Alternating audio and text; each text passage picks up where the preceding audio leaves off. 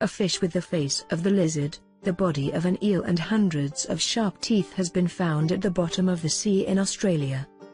Called the deep-sea lizardfish, the animal is a super predator of the ocean floor, snapping up squid and other fish with his fierce jaws. The monster creature was hauled up by scientists drawing large nets off the coast of Tasmania. Asher Flatt, on-board communicator on the RV Investigator, the ship that found the creature, said, There are still monsters in the deep dark places of the world, at least there are if you're an unsuspecting deep-sea fish. One of the many things lying in wait to eat you is the deep-sea lizardfish.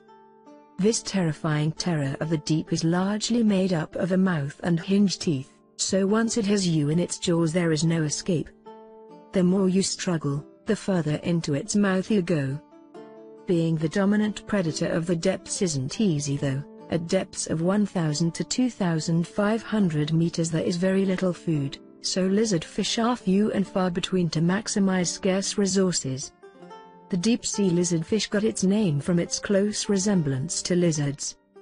And the animal, whose scientific name is Bathysaurus ferox, is also a hermaphrodite, meaning it has both male and female reproductive organs.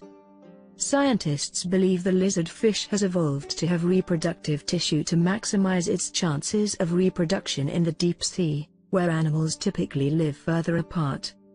Miss Flatt said, love can be even harder to find in the deep than a meal, a struggle that has nudged the lizard fish down the evolutionary path to hermaphroditism. They have both male and female reproductive organs, so whatever other Bathysaurus ferox they come across, will be both Mr. Right and the Miss Right. How could you not love a face like that? The monster creature was found by trawling crafts in the Flinders Commonwealth Marine Reserve, off the northeastern coast of Tasmania.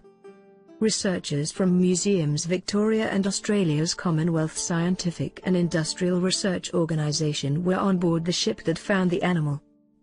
The deep-sea lizard fish's scientific name basically just translates as fierce deep-sea lizard,